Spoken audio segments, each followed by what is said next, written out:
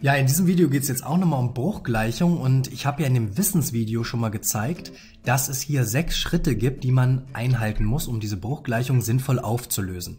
Und die ersten beiden Schritte davon, die sind jetzt hier in dieser Übung zu machen. In dem nächsten Video, deswegen guckst du dir unbedingt zum Ende an und du kannst ja dann am Ende dieses Videos auch schon wieder auf nächstes Video klicken.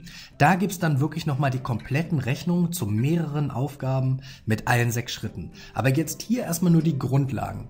Die sind aber auch wichtig, damit du am Ende eine Bruchgleichung wirklich komplett lösen kannst.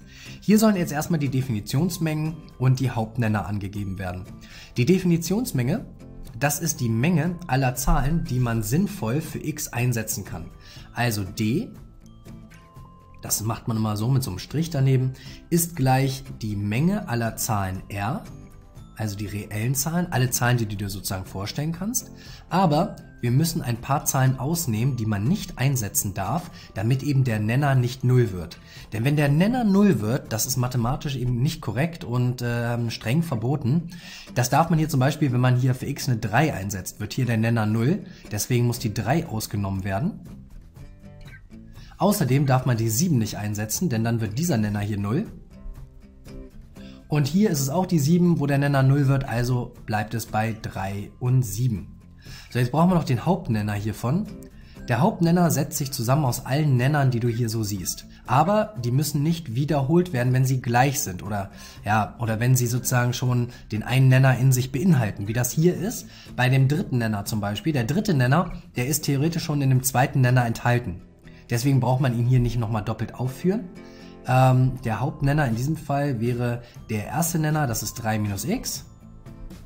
Und den verknüpft man mit einem Malzeichen mit dem Zweitnenner, das ist x minus 7 hoch 2. Theoretisch könnte man jetzt noch schreiben mal x minus 7, äh, auch noch den dritten Nenner damit zu verknüpfen, aber das wäre hier doppelt und das würde nur die Aufgabe unnötig aufblähen. Das heißt, x minus 7 zum Quadrat, was davor steht, reicht da völlig aus und deckt das mit ab. Denn das Ziel ist es ja, wenn man den Hauptnenner gefunden hat, so zu erweitern, dass überall derselbe Nenner steht. Und hier hinten ist ja schon x minus 7, das heißt, wenn ich das dann am Ende noch mit x minus 7 erweitere, dann habe ich ja x minus 7 Quadrat und dann passt das schon mal zu dem zweiten Nenner. Multipliziert dann noch mit dem ersten Nenner, hat man dann den Hauptnenner. Ich zeige dir das aber auch in den nächsten Videos nochmal ähm, exakt, was das dann für das weitere Rechnen dann bedeutet. So, das war jetzt aber erstmal die Aufgabe A. Definitionsmenge und Hauptnenner. Ich denke, du erkennst auch die Systematiken, wenn ich das jetzt noch an den anderen beiden zeige. So, jetzt brauchen wir erstmal wieder die Definitionsmenge D. Das ist wieder die Menge der reellen Zahlen, aber ausgenommen ein paar wenige. Ähm, ja, hier habe ich mehrere Zahlen, die ich nicht verwenden darf. Äh, zum Beispiel hier bei dem ersten, bei der ersten Klammer, das sind, ja, das ist die minus 9. Wenn ich die minus 9 da einsetze, schon mal aufschreiben, minus 9, dann wird die erste Klammer 0. Und wenn die erste Klammer 0 wird, dann wird da alles 0, weil das ist ja ein Produkt aus zwei Klammern. Somit wäre denn der ganze Nenner 0 und das darf nicht sein. Wenn die zweite Klammer 0 wird, dann wird auch der ganze Nenner 0 und das darf auch nicht sein. Also müsste ich 14 plus 2x, müsste ich nochmal umstellen nach x. Was ist das in diesem Fall? Minus 7. Wenn ich dafür minus 7 einsetze, für x, dann hätte ich hier 14 plus 2 mal minus 7, also 14 minus 14 wäre auch 0, geht also auch nicht. Hier bei dem x ist einfach sozusagen die 0 anzugeben. Wenn ich es also für x 0 einsetze, wird der Nenner 0, das darf auch nicht sein. Und hier vorne ist noch die 17. Wenn ich die einsetze, wird der Nenner da hinten 0. Also du siehst, hier sind es etliche Zahlen, die man hier in der Definitionsmenge noch ausnehmen muss. Der Hauptnenner, der ist hier auch etwas länger. Und hier verkettet man quasi alle einzelnen Bestandteile aus den Nennern. Wir haben einmal x plus 9 mal 14 plus 2x, dann hat man schon mal den ersten Bruch abgedeckt. Dann eine Verkettung eben mit mal, mit dem nächsten Nenner von dem nächsten Bruch, also mal x und dann noch mal x minus 17. So, das ist der Hauptnenner. Wie gesagt, was man mit dem macht, zeige ich dir nochmal in den nächsten Videos. Der ist auf jeden Fall ganz wichtig, um die Aufgabe richtig zu rechnen. Und jetzt kommt noch C. Erst einmal bei C muss man jetzt wieder die x-Werte finden, die man nicht einsetzen darf. Da hat man jetzt hier wieder zwei Brüche, zwei Nenner. Bei dem ersten Nenner empfehle ich, den erstmal umzuschreiben, weil, ja, erstmal in ein Binom umzuformen, sonst wird das hier schwierig, das festzulegen. Also hat man jetzt hier 16x minus 24x plus 9. 16x daraus die Wurzel, das wären 4x. Und das ist eine zweite binomische Formel, weil danach ein Minus kommt und kein Plus. Und am Ende hat man noch die 9, die Wurzel aus 9 ist 3. Muss noch die Probe machen, das Ganze natürlich zum Quadrat. Jetzt muss noch die Probe machen, ob das auch wirklich passt, ob das wirklich A und B ist. Äh, hier in der Mitte steht ja minus 24x, darauf müsste man, oder 24x müsste man jetzt kommen. 4x mal 3, das sind 12x mal die 2, ne? also theoretisch das Ding hier, das ist hier mein 2ab. Ich habe jetzt als a das 4x und als b das die 3. Also 2 mal 4x sind 8x, mal 3 sind 24x, passt also wunderbar. So, das heißt, hier konnte man umformen in das Binom, dann muss ich das hier noch umtragen. Das sind 7, 2x minus 45. So. Ja, welche x darf ich jetzt nicht einsetzen? Definitionsmenge?